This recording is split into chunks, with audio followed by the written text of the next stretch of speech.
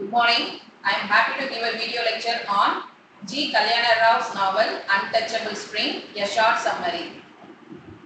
First, I would like to give the introduction of the author. G. Kalyana Rao is a renowned Indian writer. He portrays the heritage and traditions of the Dalits by telling the story of Untouchable Spring through a Dalit protagonist.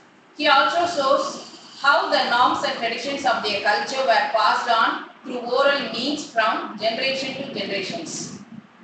Kalyana Rao, being a Dalit, added a personal touch to his novel as what he wrote was a result of what he faced being a Dalit in his community.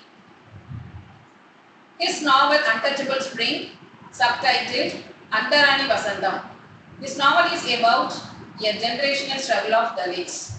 The Dalits desperately bristle with the inhuman practices of caste ninjas who forced them to live away from mainstream society with no protection from natural calamities. The novel is about the past memories of Ruth and Reuben.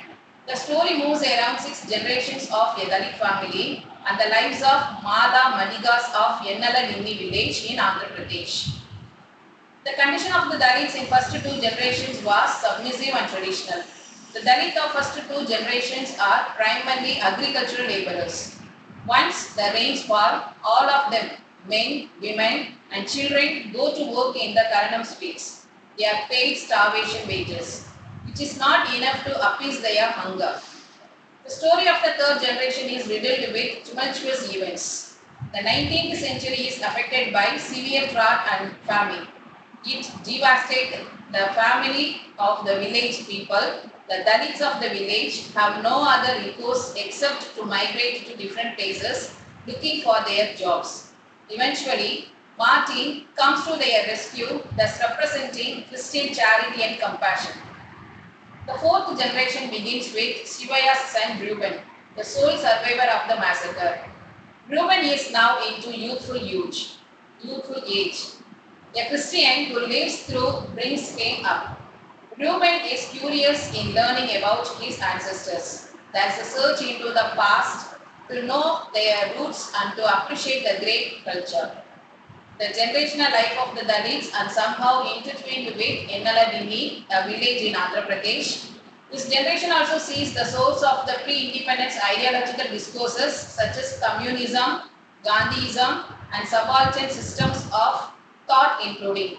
As the conversation between Reuben and Ramanujam was going on, they also talked about communism. Communism becomes the major landscape which brought about changes in Dalit consciousness. Emmanuels, this is the last generation of this novel, Untouchable Spring.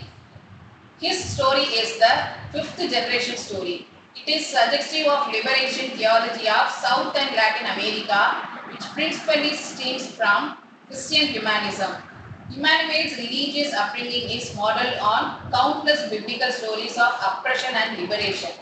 Emmanuel is attracted to extremist movements.